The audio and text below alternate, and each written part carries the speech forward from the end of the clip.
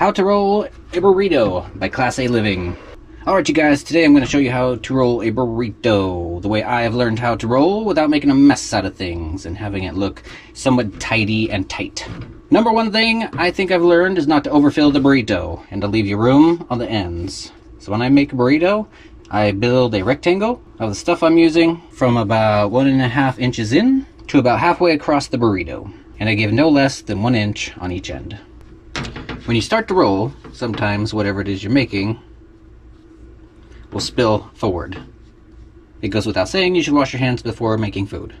But sometimes you gotta get your hands in there and get them dirty. Even if there's sauce on your broccoli. Sometimes if you're lucky, you can go forward of the mess and pull it in and give it a curl. But to start, you're gonna wanna curl those edges and make a pocket.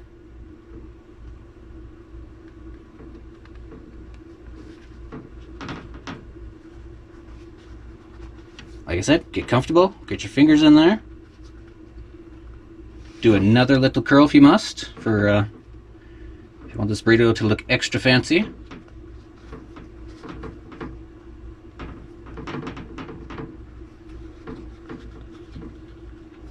Don't be ashamed to make adjustments. Re-roll if you must. Or start all over. Let's show you how I make a veggie burrito.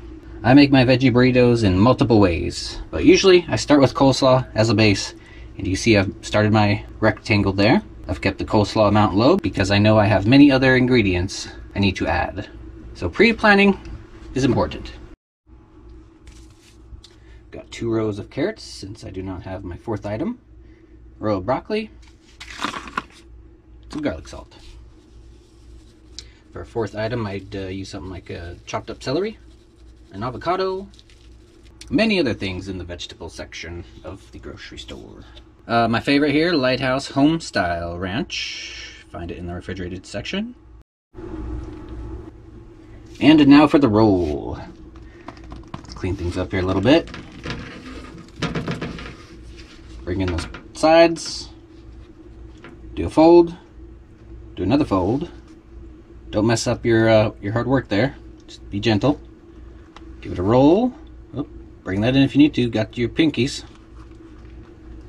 Get your pointers up there. Feel around a little bit. Tuck. Give it a tuck. Roll it out.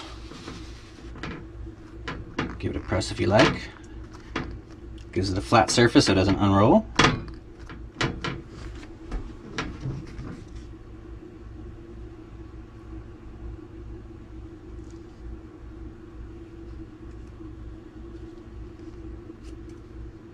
Stay tuned for more.